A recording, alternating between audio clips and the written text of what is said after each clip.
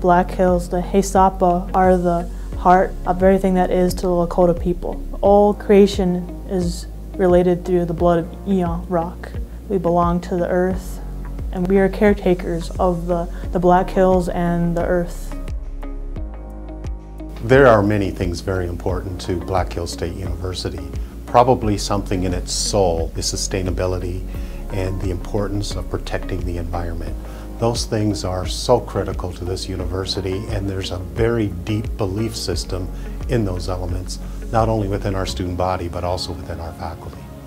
Because of the unique area that we live in, there's a natural fit for this university to want to grow in a sustainable way. We have applied and been granted Tree Campus USA. That will be officially awarded to us on Arbor Day. It's a really exciting initiative that we have here on campus. We're in the process of replacing many of our lights on campus with LED lighting, so that helps us to reduce our overall energy use.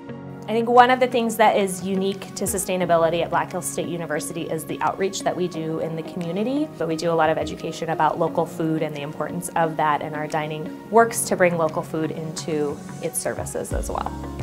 If we can succeed in our sustainability initiatives on campus, then we can set an example for the rest of the community our students become Leave No Trace trainers. So we teach them what are the research-based principles about the actions they should do and teach in the backcountry so that resources will be there for future generations.